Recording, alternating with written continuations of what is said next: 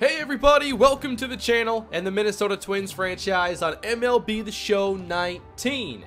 Today we continue on in the 2021 season and we're going to see us take on the New York Yankees and we'll get a chance again to see rookie pitcher Randy Rosario who has been filling in for Dallas Keuchel and is now filling in for Yadier Alvarez.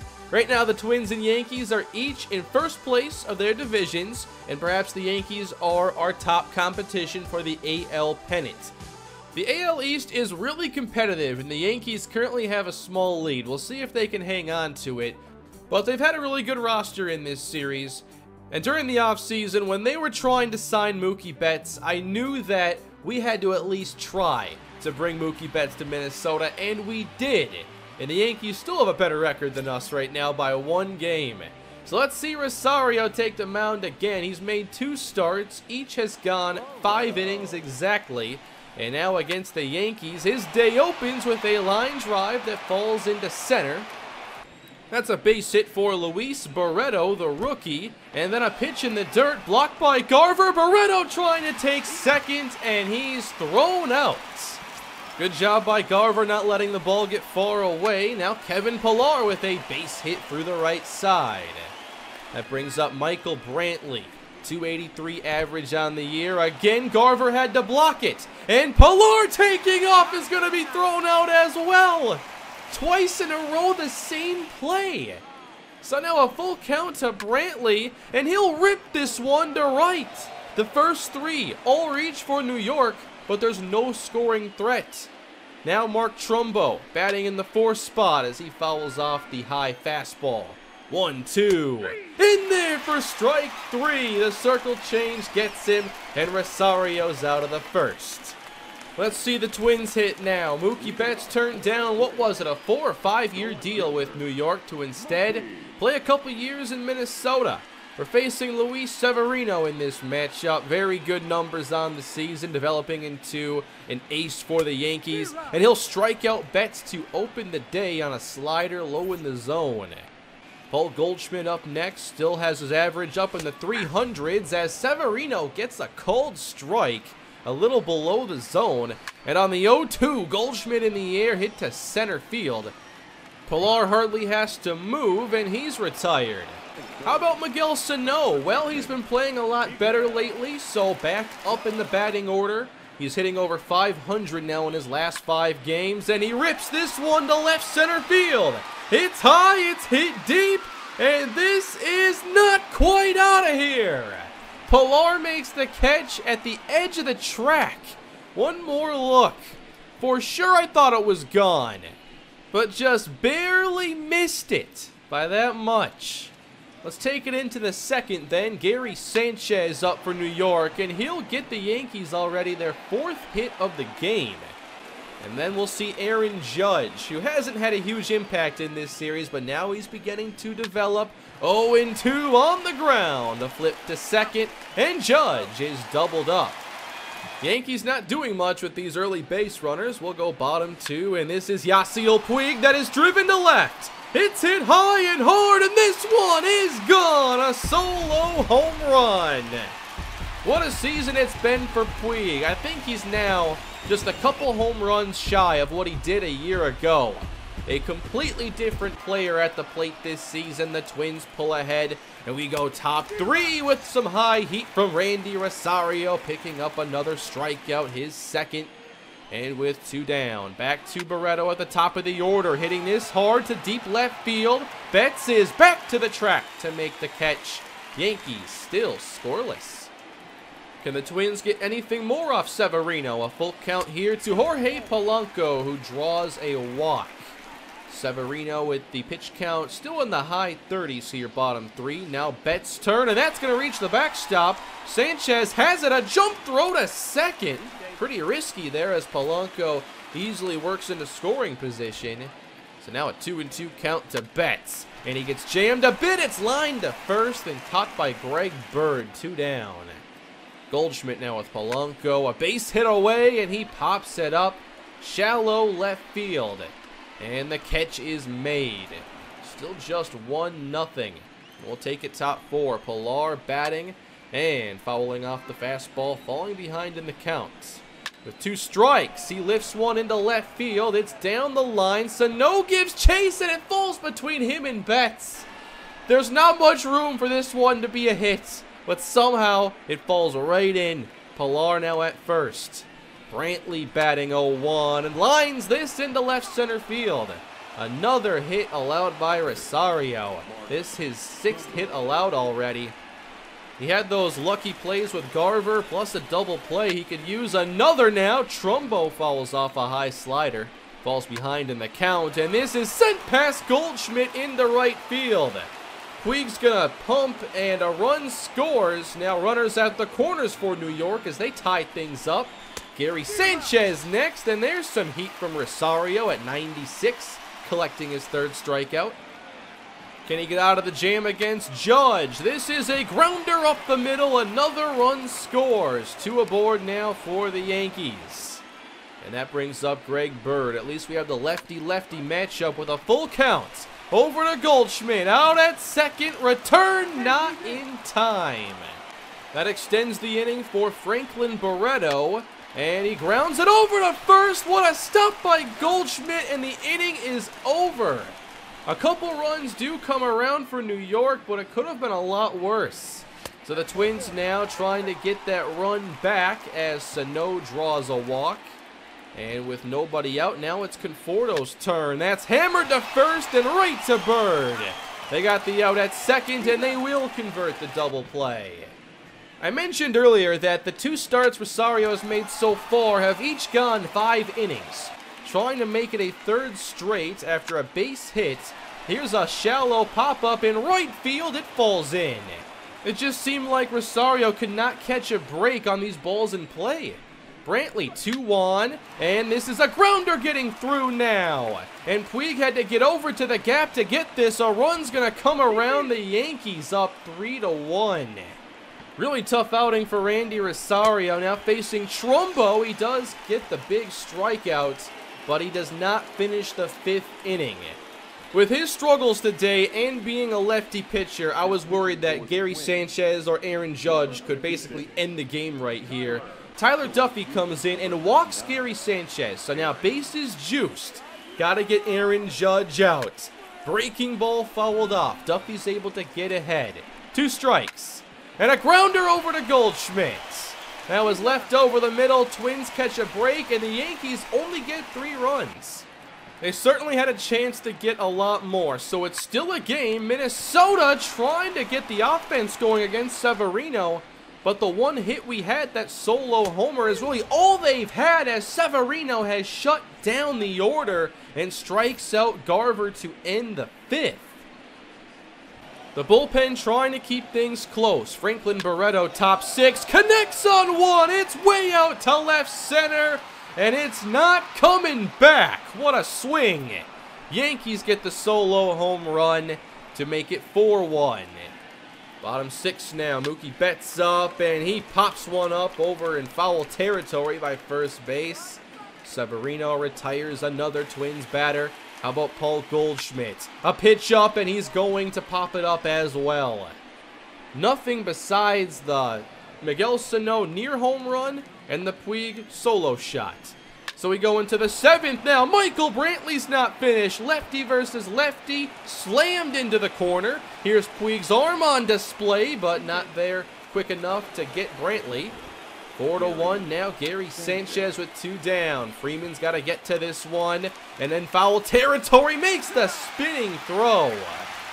This is one of those games. It could have easily been 10 to 1 at this point. Twins still in it as the sun sets. Good swing from Sano right at Kevin Pillar. Michael Conforto, can he get us going? Two strike count. He connects a fly ball to right field, but not a far run for Aaron Judge. Minnesota bottom eight. Running out of outs here. One and two to Gordon and wide of the chalk. Yankees finally had to go to their bullpen here, but Tance is in the game and Gordon's going to give us our second hit. It's not much, but we're only three runs down.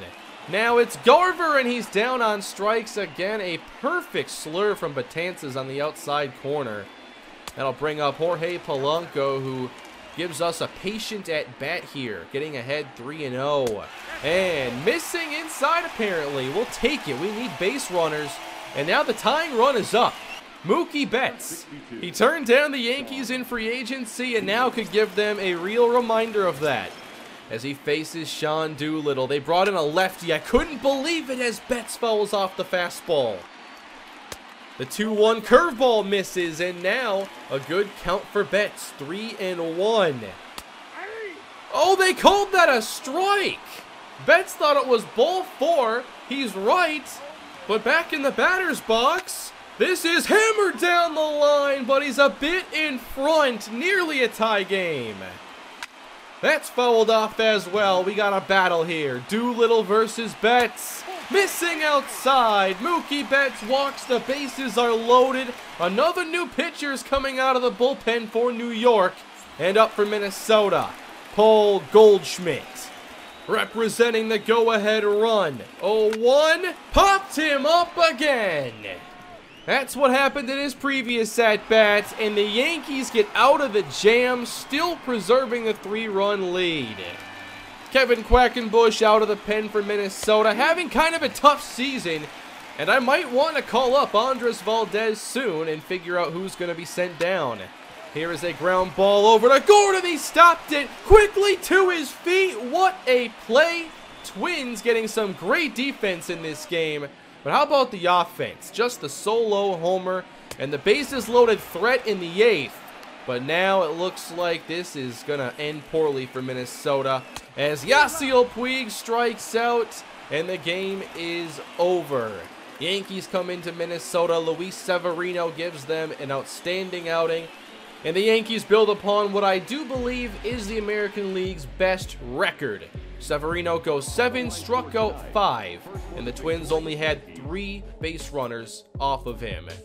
Now, I wanted to get to another game in this episode, but Mitch Garver suffered a concussion, so we have to make another move to the injured list and call up Cam Gallagher, which means that Justin O'Connor is now going to start at catcher. Minnesota took game two of the series, so now the deciding game three at Target Field with Maxwell Fowler taking the mound. Nobody has more wins this year than him. Opening now against Jean Segura. Here's a grounder hit over to short and a pump fake. I don't know. I was confused while that happened. So a base runner reaches, called an E6. That's what they ruled it. Now facing Kevin Pillar. Fowler gets in front and breaks out the changeup. I'm trying to figure out how to get more strikeouts with Maxwell Fowler and how to best pitch with him. Here's a strikeout upstairs, but we can't get Segura taking second base. Fowler doesn't get a ton of strikeouts, so to already have two is pretty impressive. Here's a 2 and 2 fastball missing high. That could have been strike 3. And then missing 3-2 versus Trumbo. This is what happens sometimes. At-bats and innings just drag on with Max. Here he gets ahead of Gary Sanchez. 0-2. There's the slider away. I want to do a lot more of that because if you're constantly around the zone with Fowler, they'll just foul everything off. Minnesota's up against Drew Pomeranz in this game, and here is Goldschmidt with a big swing and miss.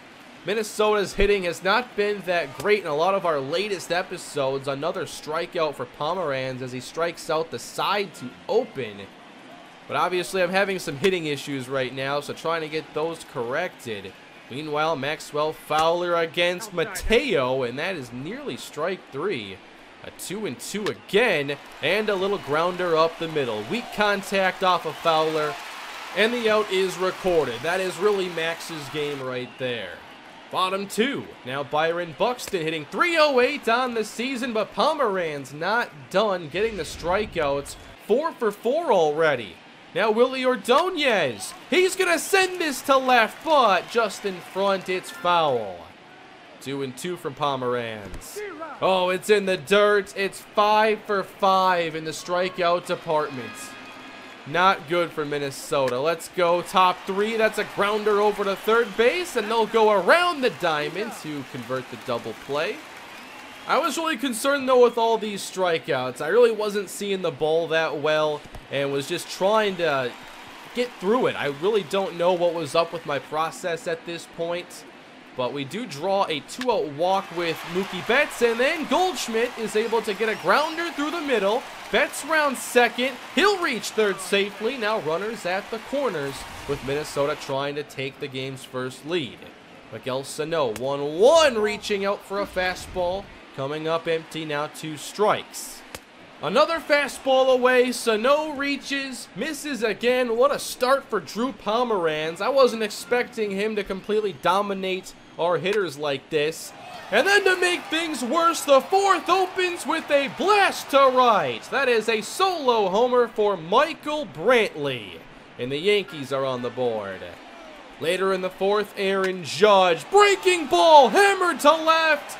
If it's fair, it's gone off the foul pole. Judge has a homer, his ninth of the season.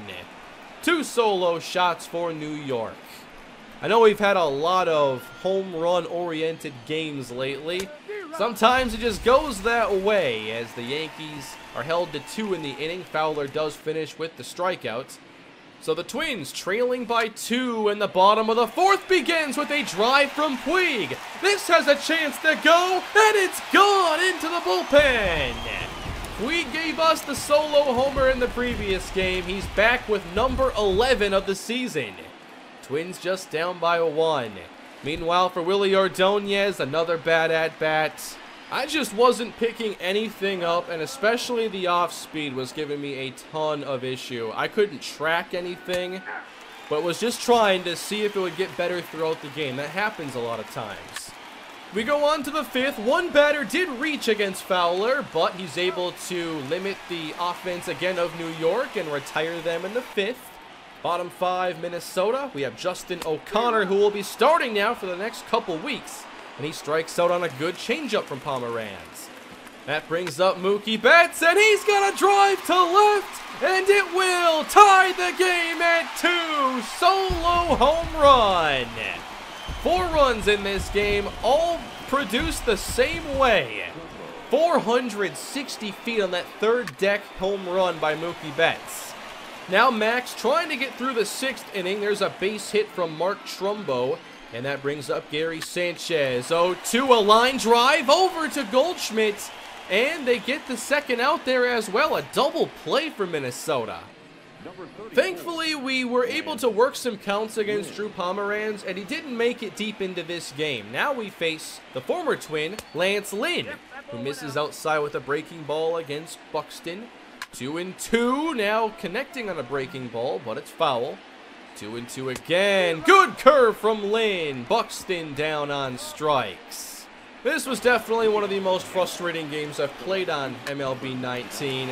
We'll take it to the seventh. Again, the leadoff batter able to reach for New York. Puig does cut it off to limit the hit to just a single for Aaron Judge.